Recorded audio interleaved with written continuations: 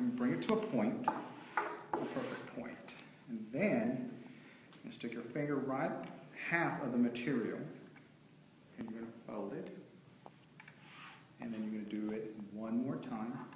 So you'll have a perfect point at this edge. And then you have the French fold. Perfectly made. Again, you can adjust it to your setting. You can make it tighter or wider. It looks better if it's tighter. And it turns out a lot prettier. You can do, I will do the, I will do the crown fold, which again, it's already perfectly made.